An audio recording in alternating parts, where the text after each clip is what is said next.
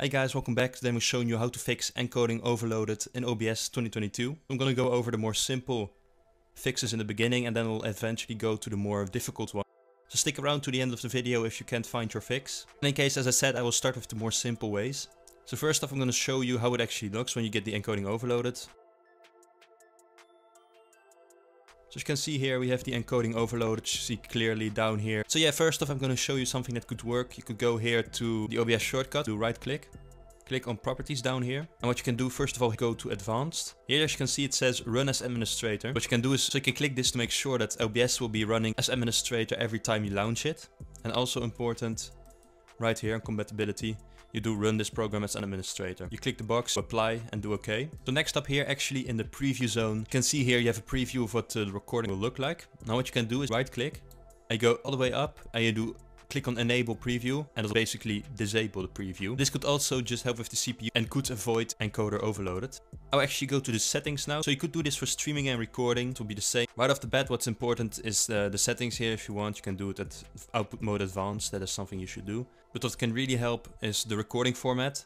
You have a couple of ones. But make sure that this one is actually on MP4. I also always advise to use MP4 because it's the most read video format. So we actually have another very important thing here, the encoder. Now I actually have it on X264 because I don't have a graphics card in this laptop. But I could set it to hardware as well, for example in my case. Most important in your case is going to be to select your graphics card. Now if you have a uh, graphics card, for example an Nvidia, it can be that OBS forgot or that you or you didn't go into settings, actually select the encoder as your graphics card. Make sure that if you have a graphics card, that the graphics card is selected here in encoder. The CBR could go for another one, but I really like CBR and it works very well for me. You could put this down because it obviously I have it at 50,000, but you could bring it down if you want, if it's too much for your PC. So here you have the CPU usage. I prefer I really like it to put it on ultra fast. It does barely affect anything in the video quality. You can see the higher the less CPU. I always have this on ultra fast. Definitely something I would advise to you too, especially if you have a low-end computer. So then we can actually go to the audio tab. Here you just make sure that this is on uh, 48 kilohertz. That's something that I could really advise. But for the rest, nothing really to note here. Now here in the video tab, now for example this resolution is too much, you can always put it to 1280 and 720 for both of these. Also here, downscale filter, you could also check if the other ones work better, like for example bicubic or bilinear. And then the FPS, you could bring this down to 30 if you want.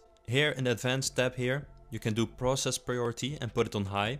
Direct3 D11, NV12, 709 and the color range on full. We actually done for the settings in OBS.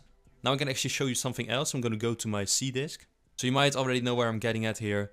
If you see my C disk, well mine is pretty full. If I go to properties here, I mean I've barely 1 gigabyte left out of the 191. This could definitely slow down your PC and provoke the encoding overload. So what you want to do, you can click here on disk cleanup here you can actually select some files, data to be removed from. It will only remove files that really don't have any purpose. I can also of course check what he's actually going to remove. So yeah, in my case, because I have all this software downloaded, but in your case also make sure you don't have any useless files, software that you don't use anymore, and make your computer faster and more efficient again. So I'm just going to go back here to OBS. So this is also very important. Um, while you're recording, make sure that nothing else is running, but it's important that the only thing is running is for example OBS the game in question. Do right click here, you do alt, and you do a game capture, name it whatever you want. Select the game that it's running, you will actually be able to see if there's a game run. And then make sure that these also, and also just look through these, but those are more preferences. So in any case, make sure that if it's recording, then the only thing it's recording is gonna be the game and OBS. So at this point you still haven't fixed it, don't worry. If you go down here, you can do right click and do task manager. You can also do control delete. Okay, as you can see right here, we have OBS.